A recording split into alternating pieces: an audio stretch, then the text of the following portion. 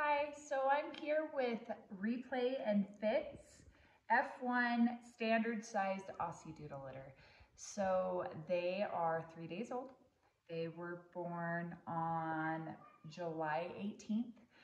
And so they are just newborn. Um, they had eight puppies. There are five boys and three girls. And I actually have just the boys here right now because it upsets the mom if you take all the puppies away when they're this young. And so I just brought the boys up and then we'll switch and we'll bring the girls up and do those as well. But to start out with, I will just jump right in. I have one of the males and we actually named this litter after trees. Um, and so this is Cedar and he is a red tri. So he's gonna have some really nice copper tone to him. Um, he's got darling, I love these white socks on him that go all the way up that leg. And he's got really cute white on his forehead.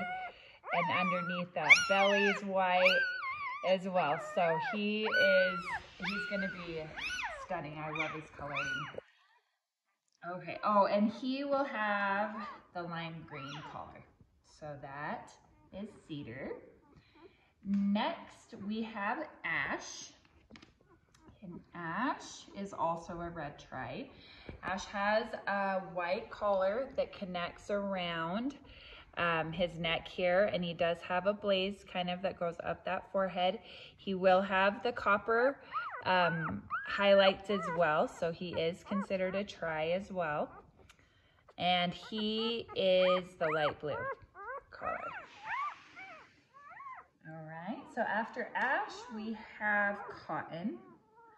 And Cotton is a sable, so he's gonna have more sable markings where you've got like the black tips um, at the end of, of the coat.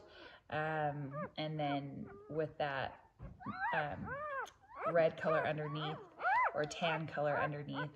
He also has pretty high uh, socks on those front legs, which I think is adorable.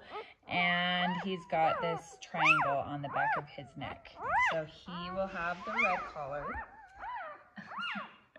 oh, and that blaze up his face is pretty wide as well. I like that blaze. All right, so after cotton, we have pine. And pine is a black tri. He's one of the black tris. He has kind of a triangle on the back of his neck as well, um, and a blaze that goes up that face, and um, the, the white all the way down that chest and belly. He also has the copper um, on him as well. So he is a black tri, and he will have the yellow collar. And then last but not least of the males is another black tri. He has a little bit more white, so that white collar goes off to the side here and around, um, and it goes this way a little bit too. Um, and also has that white up that forehead with the white socks that go all the way up the legs. So that is oak. Okay, so now I'm here with the girls. Uh, there, as I mentioned before, there are three girls. To start out with here, I have um, Maple, and she will have the dark pink. So Maple is the deepest sable color. She, it might look black in the video, but she is not black. She actually has a tan undercoat um, and is very much a sable Again, I love their, their white on their paws, on their legs. I think it's so cute. Okay, so next we have Aspen.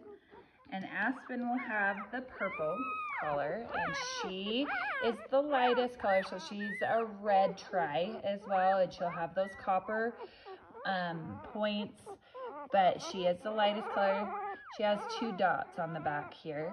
Um, but then that big blaze, the socks, white under the chest.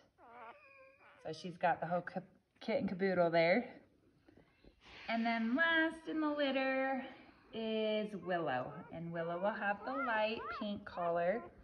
Um, she is also a sable. So, and she has quite a bit of white on that nose there. Um, and then the white under her chest.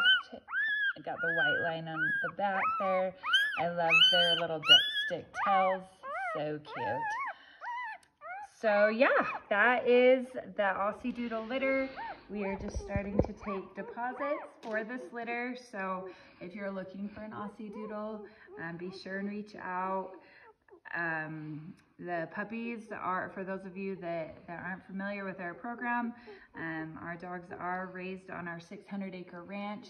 Um, the puppies are raised in our home. Um, we begin ENS with them at day three and um, just continue with their socializing and development.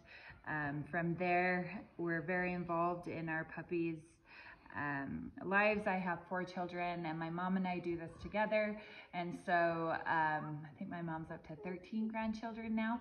So they definitely are raised with children um, and lots of love. And so, yeah, if you're looking to add a new puppy to, to the family, be sure and reach out.